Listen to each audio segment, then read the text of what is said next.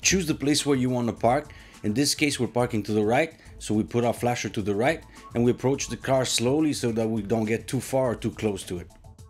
Line up your car's right mirror with the other car's left mirror while leaving about 2 feet between the mirrors or about 3 feet between the cars.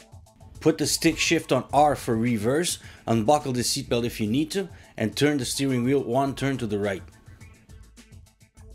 Now look in the center mirror, the left one and the blind spot before backing up to make sure you can do the maneuver safely. And then back up while looking back so you can have a more global vision. Back up until you see the other car's plate in the middle of your window.